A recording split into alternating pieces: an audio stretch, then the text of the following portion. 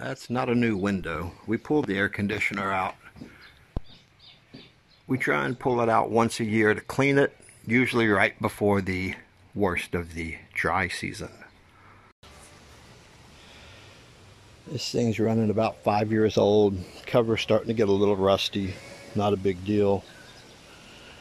Um, we did pull this blade guard off to wash everything. It goes back on.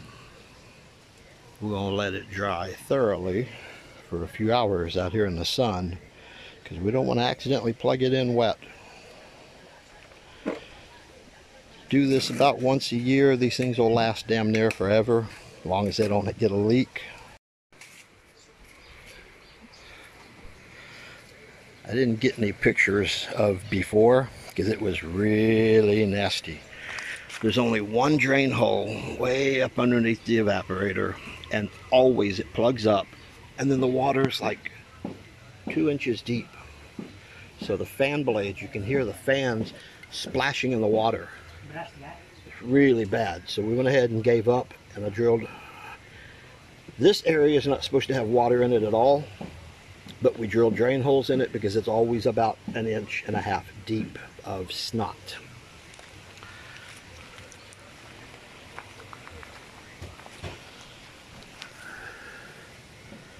Over here by the evaporator, I also added one small hole here.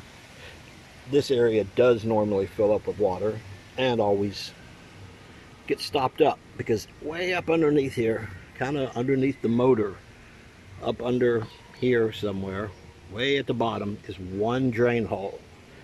And it doesn't sit right. The hole was never cut exactly right. And as soon as it plugs up, there's no help for it.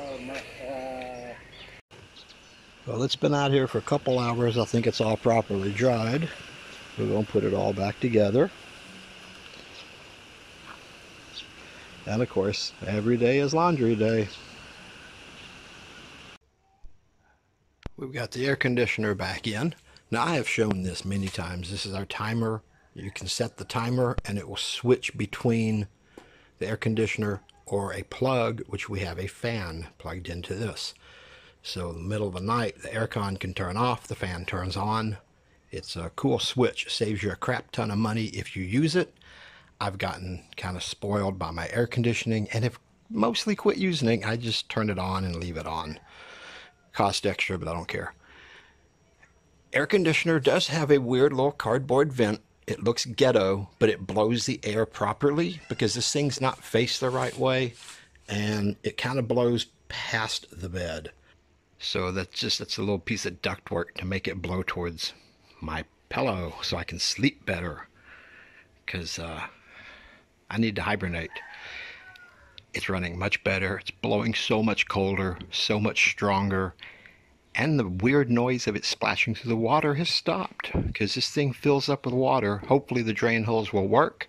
We will find out soon. The coils are never very dirty because it's got this filter and I do wash it every month. So the coils actually don't get dirty. It's just the bottom fills up with kind of this snot layer and it gets really gross. So pull it out and clean it once a year. You'll save a bunch of money and it will work better. Okay, the air conditioner is clean. Like I said, I do that once a year, save a lot on electricity, makes it run better, lasts longer. I recommend you do it. It's very easy. Just if you can't fix it with a water hose, you need a new one. They're not worth fixing, but cleaning is a good thing. Now, on to more important things that are near and dear this side, near and dear to my heart. Tacos. Yeah, it's Taco Tuesday. I don't know what day this is that I'm filming it. I don't know what day it is that I cooked them. Doesn't matter. If you're making tacos, it's always Taco Tuesday.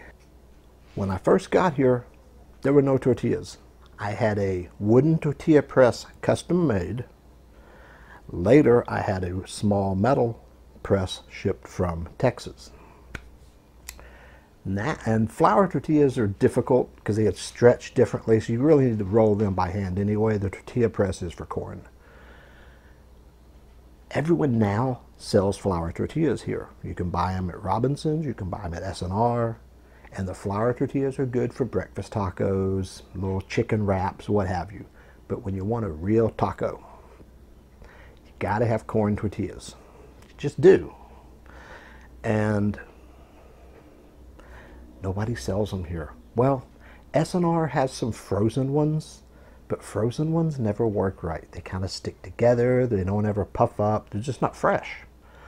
And in Texas, we never would have thought of making our own because we had so many tortillerias that made wonderful tortillas. We could get super fresh, hot, you know, fresh tortillas and use them right away.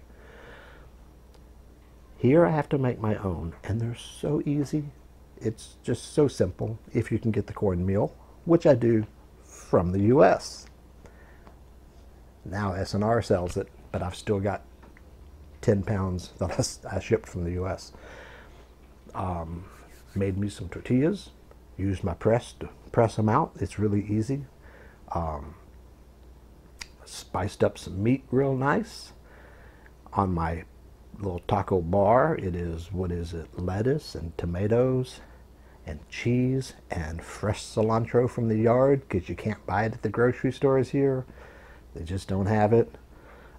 And for some reason, I decided to chop up some chicharron. I just had a little bit, so I broke them up to sprinkle in there for some extra crunch. And it was kind of nice. So the tacos turned out very well. Yeah, the air conditioner's working, but who cares? I got tacos. Life is good.